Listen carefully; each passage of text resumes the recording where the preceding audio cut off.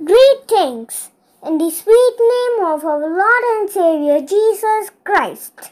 For today's devotion, let's read from Psalm 28, verse 8.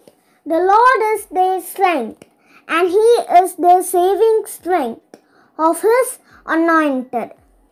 கர்த்தர் அவர்களுடைய பலன் அவரே தாம் அபிஷேகம் பண்ணினவனுக்கு அரணான அடைக்கலமானவர்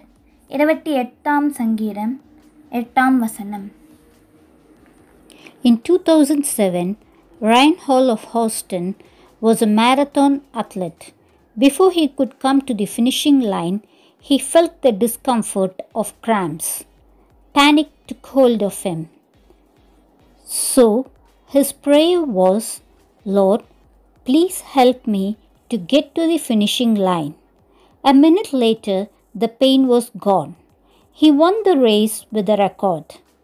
He had the strength to overcome his problems because Lord was his saving strength. Only our Lord gives us endurance to withstand all our pressures. Prayer Lord, give us the strength to fight against our temptations and weakness. We raise this prayer in Jesus' name. Amen.